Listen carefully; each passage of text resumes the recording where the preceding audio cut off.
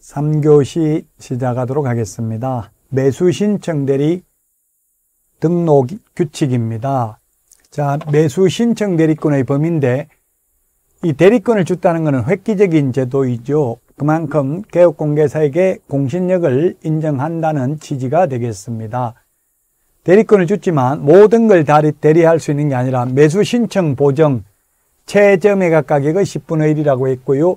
그 다음에 입찰표 작성 제출 차순위 매수 신고는 최고가 매수 신고인이 신고한 금액에서 그 보증금을 뺀 금액을 넘는 때에만 할 수 있다고 했습니다. 매수 신청 보증을 돌려줄 것을 신청하는 행위, 공유자 우선 매수 신고, 임차인의 임대주택 우선 매수 신고, 구임대주택 법상, 지금은 공공 그 민간임대주택 특별법이죠. 그 다음에 차순위 매수 신고인의 지위를 포기하는 거 이런 것만 할 수 있습니다. 그러면 지금도 할 수 없는 게 뭐가 있느냐면 소송 대리는 안 됩니다. 소송 대리는 변호사의 업무입니다. 소송 대리는 할 수 없고 단순히 서류 써내는 것, 입찰표 대신 제출하는 것, 차순위 매수 신고하는 것, 차순위 매수 신고인의 지위를 포기하는 것 이런 것만 할 수 있습니다.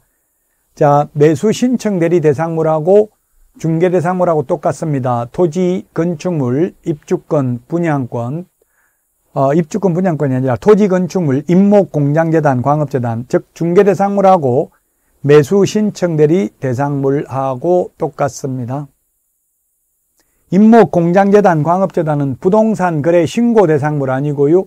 토지거래 허가 대상, 농지 취득자익 증명 대상, 계약서 금인 대상은 아니죠.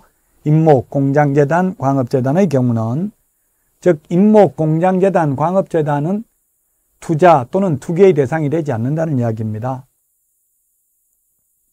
자, 매수 신청 대리인 등록은 지방법원장에게 해야 되고요. 14일 이내에 등록을 해줍니다. 공인중개사법에서는 7일 이내에 등록 처분 통지를 하죠. 자, 등록 요건은 개업 공인중개사이거나 법인의 개업 공개사, 법인인 개업 공개사일 것 이렇게 돼 있는데 약간 입법의 불비입니다. 여기서 정확하게 말하면 공인중개사인 개업 공개사이거나 이런 의미입니다. 부칙 개공은 매수 신청 대리인 등록 안 되고요. 경매 실무 교육을 미리 받았어야 되고요. 보정을 미리 설정해야 됩니다. 우리 그 암기 프린트 56번에 보면 중개업을 할 때 보정 설정의 경우는 등록 후 업무 개시전인데 매수 신청 대리의 경우에는 미리 보정 설정을 해야 되고요. 자, 그 다음에 매수 신청 대리인 등록 신청할 때 자격증 사본이 있어야 되니까 부칙 개공은 안 되고요.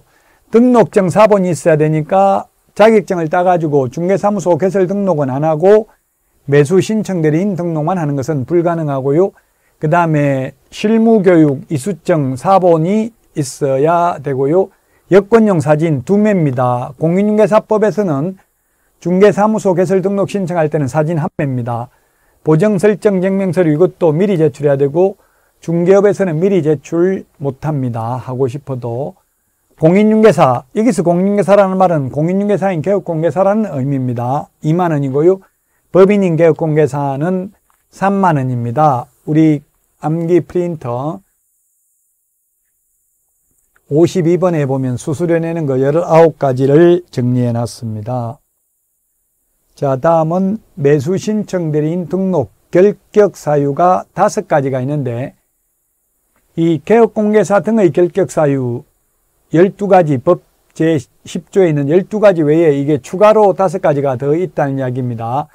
매수 신청 대리인 등록 취소되고 나서 3년이 지나지 아니한 자는 등록을 못 하는데요. 중개업을 폐업 신고해가지고 매수 신청 대리인 등록 취소된 경우에는 등록 취소되고 3년 안 지나도 재지어서 등록 취소된 게 아니잖아요. 폐업했다고 매수 신청 대리인 등록을 취소했다면 이런 경우는 3년 안 지나도 다시 등록할 수 있고요. 경매 관련 유죄 판결 받고 2년 미경과자, 업무정지 기간 중에 있는 자, 업무정지 사유 발생 당시 법인의 임원 또는 사원이었던 자, 그 다음에 5번 결격 사유에 해당하는 자가 사원 임원으로 있는 법인인 개업 공인중개사는 매수 신청 대리인 등록의 결격 사유에 해당됩니다. 특히 1번이 시험에 자주 출제됐습니다. 스스로 폐업을 해가지고 등록 취소된 경우에는 등록 취소된 날로부터 3년 지나지 않아도 된다는 점을 유념하셔야 되겠습니다. 자, 매수 신청 대리 휴업 신고도 3월 초과해서 휴업을 하고자 하거나 폐업하고자 하는 경우에는 등록증을 원본을 첨부하여 미리 신고해야 되고요. 재개 변경 신고도 미리 신고해야 되고요. 매수 신청 대리 휴업은 6월을 6개월을 초과할 수 없습니다. 자, 매수 신청 대리 실무 교육은 법원 행정처장이 지정하는 교육기관에서 교육을 받아야 되고요. 법원 행정처장에게 매수 신청 대리 실무 교육 지정 승인을 요청할 수 있는 곳은 대학, 전문대, 협회만 가능하고요. 공기업, 준정부기관은 불가능합니다. 자, 그 다음에 매수 신청 대리 실무 교육 대상은 개인인 경우 교육공개사, 법인인 경우 대표자만 교육받습니다. 중개 실무 교육은 모든 임원, 사원, 전원이 다 받아야 됩니다만은 매수 신청 대리 실무 교육의 경우에는 오직 대표자만 받습니다. 그리고 폐업 신고 후 1년 이내에 다시 등록 신청하려면 교육 안 받아도 됩니다. 매수 신청 대리 실무 교육, 중개 실무 교육, 직무 교육 요 세 개가 사전 교육, 미리 받아야 되는 교육인데요. 이 교육의 사전 교육의 유효 기간은 1년입니다. 따라서 교육받고 1년 안에 개업하거나 취직하면 다시 받아야 되고요. 그만두고 1년 안에 다시 개업하거나 취직하려면 안 받아도 됩니다. 자, 등록 신청일 전 1년 이내에 실시하는 교육이어야 한다. 교육받고 1년 넘었으면 다시 받아야 된다.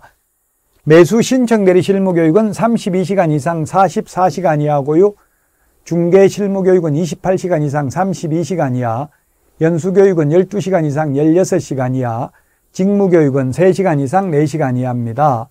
교육 내용을 보면 직업윤리, 그 다음에 민사소송법, 민사집행법, 경매, 실무 등이 필수 과목이고요. 그 다음에 어, 교육기관이 자체적으로 정한 부동산 경매 관련 과목 수강과 교육 과목별 평가를 해가지고 60점 이상 되어야만 수료증 내줍니다. 중개 실무 교육은 모든 임원 사원 전원이 다 받는데 경매 실무 교육은 대표자만 받는다는 점을 유념하셔야 되겠습니다. 자, 손해배상은 우리 중개업하고 똑같기 때문에 시험에 잘 나오지 않습니다. 고의 또는 과실입니다. 우리 공인중개사법이나 매수신청 대리에서는 고의 또는 과실이기 때문에 모든 과실입니다. 중대한 과실에 하나여 손해배상 책임이 있다 하면 X라고 했죠. 자, 그 다음에 재산상 손해만 배상하고요. 비재산상 손해는 배상하지 않습니다. 보정 설정을 등록 신청 전에 해야 됩니다. 중개업의 경우에는 등록 신청 전에 하는 게 아니라 등록 후 업무 개시 전에 합니다. 보정 설정 금액 법인은 4억 이상, 분사무소는 2억 이상, 공인중개사인 개업공개사는 2억 이상 2023년 1월 1일부로 정액됐습니다. 두 배로 올랐죠? 보정 설정 방법은 보정보험, 협회, 공제 가입하거나 법원에 공탁 셋 중에 하나만 해도 되고 세 개 다 가입해도 됩니다.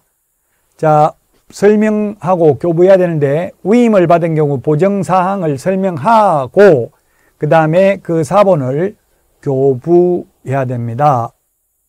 전자문서를 물론 교부해도 됩니다. 자, 그 다음에 보증금 회수인데요. 공탁금은 폐업 사망한 날로부터 3년 이내에는 회수할 수 없습니다. 왜냐하면 민법 766조 손해배상 소멸시효가 3년이기 때문에 그렇습니다. 손해배상을 해주고 나면 15일 이내에 재보정 설정을 해야 됩니다. 15일 이내입니다. 우리 암기 프린트는 49번에 15일 정리되어 있습니다. 자, 대리 행위 방식은 대리 행위마다 대리권을 증명하는 서면을 제출해야 됩니다. 다만 에, 같은 날 같은 장소에서 에, 대리 행위를 하는 경우 하나의 서면으로 가름할 수 있습니다. 이 매수 신청 대리를 하려면 개업공개사가 직접 출석해야 됩니다. 임원도 안 되고 소속 공개사도 안 됩니다. 그래서 매수 신청들이 실무 교육 대상자는 오로지 법인의 경우 대표이사만 받으면 됩니다. 사건 카드 5년 동안 보존해야 됩니다. 물론 교부 의무는 없습니다. 매수 신청 대리 관련 서류는 모두 5년 보존입니다. 매수 신청 대리 사건 카드, 매수 신청 대리 대상물 확인 설명서, 매수 신청 대리 행정 처분 대장 모두 5년 보존해야 됩니다. 자, 확인 설명을 성실 정확하게 하고 근거 자료 제시해야 됩니다. 설명해야 될 내용이 매수 신청 대리 대상물의 표시 및 권리관계, 법령의 규정에 따른 제한사항, 경제적 가치도 설명해야 됩니다. 소유권을 취득 시 부담 인수해야 될 권리를 설명해야 됩니다. 이게 뭐가 있다고 했습니까? 유치권, 그 다음에 분묘기지권, 법정지상권, 이거는 무조건 인수된다고 했죠. 그리고 말소 기준권리보다 최선순위인 임차권, 전세권, 지상권, 지역권, 환매 등기, 가처분 등기, 소유권 이전 청구권, 보증가 등기 인수된다고 했습니다. 위임계약을 체결한 경우에 확인설명서를 교부하고 사본을 5년간 보존해야 됩니다.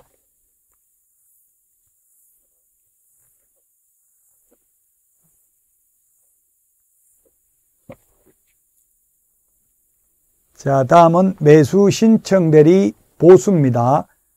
매수 신청 대리 보수 요거는 시험에 거의 출제가 안 됐는데요. 매수인이 된 경우 감정가 1% 또는 최저매각 가격의 1.5% 중에서 당사자 합의입니다. 합의에 의해서 받을 수 있고요. 매수인이 되지 못한 경우 50만 원 받을 수 있고요. 상담 및 권리분석 보수 50만 원 받을 수 있습니다. 여러 물건을 함께 분석하는 경우 1부동산당 5만 원 범위 내에서 정액이 가능합니다. 실비는 공인중개사법에서는 한도가 없는데 매수 신청 대리는 한도가 30만 원입니다. 원거리, 멀리 가는 출장비, 원거리 교통비는 받을 수 있는데 근거리 교통비나 등기사항 증명서 비용은 실비로 청구할 수 없습니다. 자, 그 다음에 보수 지급 시기는 위임계약 체결 전에 에, 설명을 해야 됩니다. 보수에 대하여 위임계약 체결 전에 설명해야 되고 사건 기록, 카드에 기록해야 되고요. 보수 지급 시기는 약정에 따르며 약정이 없으면 매각 대금 지급 기한일입니다. 중개 보수는 약정이 없으면 거래 대금 지급이 완료된 때입니다. 매수 신청 대리 보수 영수증은 교부는 해야 되지만 매수 신청 대리 보수 영수증을 보존할 필요는 없습니다.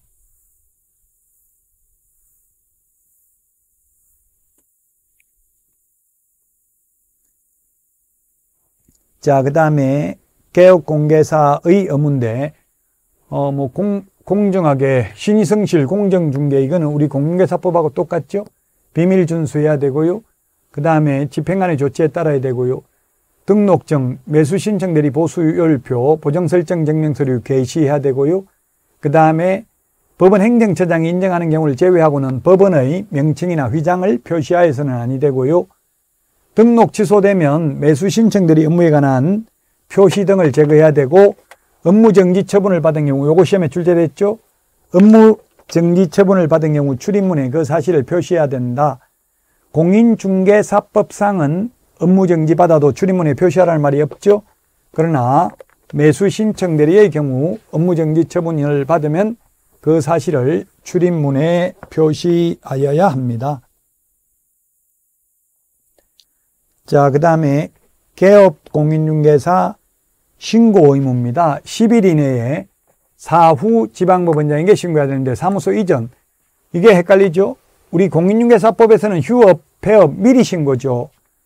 3월 초과해서 휴업하고자 하는 경우 미리 신고하고 또 사후 10일 이내에 지방법원장에게 한 번 더 신고해야 됩니다. 자격 취소, 자격정지, 등록 취소, 업무정지, 분사무소 설치 신고한 경우 사후 10일 이내에 지방법원장에게 신고해야 된다. 특히 이번 공인중개사법에서는 휴업, 폐업을 미리 신고하는데 중개업을 휴업하고자 하는 경우 휴업을 했으면 또 사후 10일 이내 지방법원장에게 한 번 더 신고를 해야 된다. 자, 다음은 금지행위입니다. 금지행위. 이중으로 매수 신청 대리인 등록을 신청하는 행위. 시험에 또 2번, 3번만 시험에 나왔습니다. 나머지는 읽어보면 다 금지행위라는 걸 알 수 있어요. 2번 매수 신청 대리인이 된 사건에 있어서 매수 신청인으로 매수 신청을 하는 행위. 3번 동일한 부동산에 대하여 이해관계에 따른 두 명 이상을 대리하는 경우 당연하죠. 두 명에게 내가 1등 시켜줄게, 낙찰 받아줄게 해가지고 상담 및 권리분석 보수 50만원, 또 매수인이 되지 못했다고 50만원 이런 거 받아 챙기면 안 된다고요? 왜냐하면 경매라는 거는 1등 한 명 뽑는 거잖아요. 두 명이 1등이 될 수가 없어요. 그런데 두 명에게 내가 낙찰 받아줄게. 두 명이 동시에 낙찰 받을 수는 없죠? 그래서 이런 행위는 하면 안 된다는 이야기입니다. 2번, 3번이 시험에 나온 적이 있고요. 명의 대여하는 거 당연히 안 되고요. 그 다음에 명의 사용하게 하는 경우, 그 다음에 경매 입찰 방해죄에 해당하는 행위, 그 다음에 사건 카드 확인 설명서 의위 기재 필수적 기재상 누락, 그 밖의 법령에 따라 금지되는 행위 하면 안 되는데 시험에는 2번, 3번만 출제됐습니다. 과거 출제된 걸 왜 말하냐면 시험에는 해마다 과거 나왔던 게 반복해서 출제되고 있기 때문에 그렇습니다. 자, 지도 감독인데요. 협회는 협회 주된 사무소는 법원 행정처장이 지도 감독합니다. 공인중개사법에서는 협회 지부 지도 국토부 장관이 지도 감독합니다만은 매수 신청 내리와 관련해서는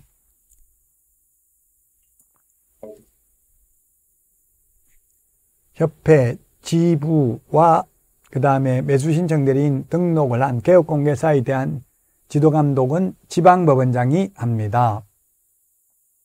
다만 지방법원장은 그 지도감독 사무를 지원장이나 협회 시도지부에 위탁할 수 있고 위탁받은 지원장이나 협회 시도지부가 어, 지도감독을 한 경우 그 실시 결과를 지체 없이 지방법원장에게 보고해야 됩니다. 자, 그 다음에 통지 의무인데요. 협회는 등록 관청으로부터 등록 후 폐업 신고, 자격 취소, 자격 정지, 등록 취소, 무정지를 통보받은 후 10일 이내에 법원 행정처장에게 통지해야 되고 법원 행정처장은 협회로부터 통지받은 내용을 지방법원장에게 통지해야 됩니다. 지방법원장은 매월 등록 행정처분 및 신고된 사항을 다음 달 10일까지 법원 행정처장에게 통지해야 됩니다. 법원 행정처장은 매월 등록 행정처분 및 신고된 사항을 다음 달 10일 5일까지 협회에 통지해야 된다. 이게 조금 뭐 글로 적어 놓으니까 헷갈릴 수 있는데 다시 한번 적어 보면요. 먼저 등록관청은 다음 달 10일까지 다음 달 10일까지 협회에 등록사항 등을 통보합니다. 우리 암기 프린터는 25번에 6가지 통보하는 게 있습니다. 통보받은 협회는 통보받은 날부터 통보받은 날부터 10일 이내에 법원 행정처장에게 통지해야 됩니다. 법원 행정처장에게 통지해야 되고요. 지방법원장은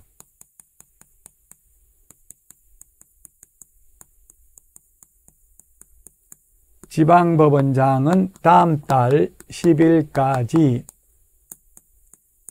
법원 행정처장에게 법원 행정처장에게 매수 신청 대리인 등록사항 등을 통지해야 되고요. 통지받은 법원 행정처장은 다음 달 15일까지 협회에 통지를 한다. 서로 정보를 공유한다는 이야기죠. 이 다음 달 15일, 다음 달, 다음 달 같은 달입니다. 그래서 8월 달에 등록한 사항은 9월 10일까지 법원행정처장에 통지되고요. 그러면 9월 15일까지 협회에 통지한다는 이야기입니다. 시험에 자주 나오지는 않으니까요. 참고로 보시면 되겠습니다. 자, 그 다음에 이게 매수 신청들이 행정처분 요것도 다 암기하기는 어렵습니다. 특이한 것만 왜냐하면 매수 신청들이 이거 전부 다 합해서 한 문제 시험에 나오니까요. 자, 절대적 취소 사유, 특히 유의해야 될 거는 폐업을 해도 등록 취소합니다. 스스로 업무 안 하겠다고 폐업을 하는데 매수 신청 내린 등록을 취소해야 된다는 것. 특이하니까 이거 좀 기억하시기 바랍니다. 폐업을 하더라도 등록을 취소합니다. 그 다음에 임의적 취소는 요거 하나만 기억하면 되겠죠. 최근 1년 이내에 2회 이상 업무정지 처분을 받고 다시 업무정지에 해당되면 공인중개사법에서는 절대적 등록 취소였습니다. 이게 그러나 매수 신청 대리에서는 임의적 등록 취소라는 것 요거 7번만 기억하시고요. 절대적 등록 취소는 폐업만 기억하시면 되겠습니다. 나머지는 상식적으로 읽어보면 아 등록 취소해야 되겠다 느낌이 옵니다. 자, 그 다음에 업무정지 사유입니다. 업무정지도 다 기억할 수는 없고요. 휴업하면 업무정지입니다. 절대적 업무정지입니다. 그 다음에 어, 공인중개사법상 업무정지당하거나 등록 취소할 수 있는 사유에 해당하는 경우 자격정지당한 경우 절대적 업무정지입니다.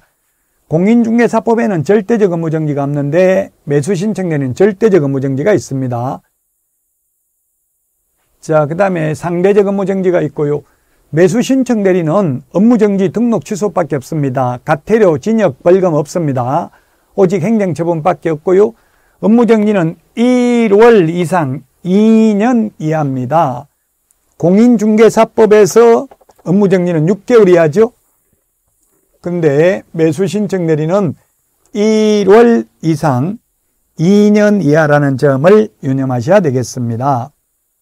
자, 그 다음에 행정처분 사전 사후 절차인데요. 사전에 미리 의견 진술 기회를 부여해야 됩니다. 매수 신청들에서는 청문하는 건 없습니다. 10일 이상 기간을 정하여 구술 또는 서면에 의한 의견 진술 기회를 부여해야 되고요. 이 매수 신청들이 행정처분 대장도 5년 동안 보존해야 되고요. 만약에 업무정지 당하면 업무정지 당했다고 출입문에 표시해야 된다. 공인중개사법상 업무정지 당한 경우 출입문에 표시할 의무 없다. 그 다음에 사망을 해서 매수 신청대리인 등록일 취소됐다면 세대를 같이 하는 자가 7일 이내에 지방법원장에게 반납을 해야 되고요. 법인이 해산되어서 등록이 취소됐다면 대표자 또는 임원이 어떤 자가 7일 이내에 지방법원장에게 매수 신청 대리인 등록증을 반납해야 됩니다. 공인중개사법에서는 해산해가지고 등록 취소되면 대표자이 어떤 자가 반납하고요. 공인중개사법에서는 사망을 한 경우에 등록 취소돼도 등록증 반납하라는 규정은 없습니다. 자, 오늘 공부했던 내용이 상가임대차, 경공매, 매수신청들인데 각각 한 문제씩 시험에 출제되니까요. 꼭 숙지를 해야 되겠습니다. 물론 40문제 중에서 공인중개사법이 약 28문제, 그 다음에 부동산 거래 신고 등에 관한 법률이 9문제 정도 평균 출제됩니다. 실무에서 반드시 시험에 나오는 게 오늘 한 상가 임대차, 경공매, 매수 신청 대리 주택 임대차 여기서 네 문제 나오고요. 나머지 가장 잘 나오는 게 부동산 실권리자 명의 등기에 관한 법률이었습니다. 자 여기까지 핵심 요약집 강의를 모두 마치고요. 다음 달에는 이제 모의고사, 에 모의고사로 찾아뵙겠습니다. 모의고사만 여러분들이 잘 풀어보셔도 충분히 고득점 할 수 있겠습니다. 그러면 예, 다음 시간에 찾아뵙도록 하고 마치겠습니다. 여러분 수고하셨습니다.